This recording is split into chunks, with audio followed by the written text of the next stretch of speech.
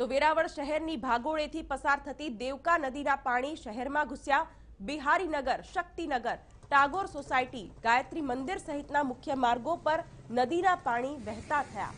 દ્રશ્યો જોઈ શકાય છે ગીર સોમનાથના અહીં પણ અનેક સોસાયટીઓમાં પાણી ભરાયા અને વેરાવળની દેવકા નદી ગાંડીતુર થતા શહેરમાં પણ